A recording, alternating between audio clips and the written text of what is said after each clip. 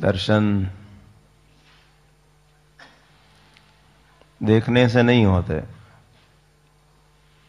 दर्शन करने की विधि क्या है? श्रवण से कानों से हम देखते हैं कानों के माध्यम से।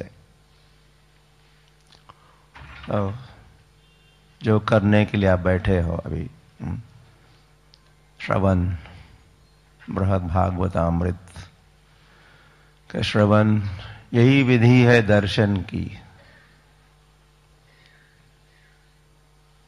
तो कहाँ गए थे? दर्शन के लिए गया था।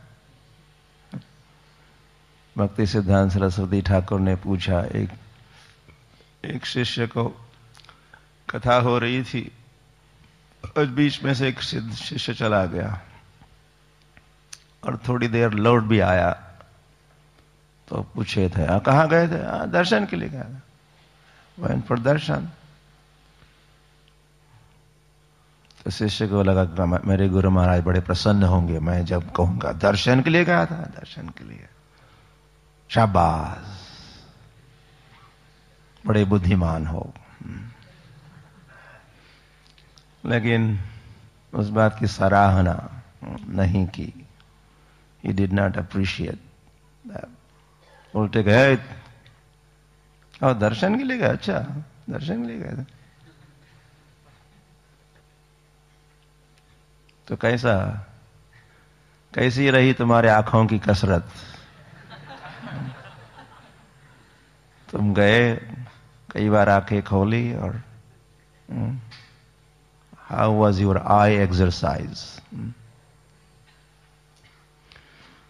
उस प्रकार के दर्शन को उन्होंने आँखों की कसरत ही कहा? मैं यह दर्शन प्राप्ति की विधि समझा रहा था hmm?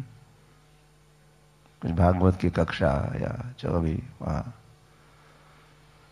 बोधयंत परस्परम हो रहा था भक्ति सिद्धांत सरस्वती ठाकुर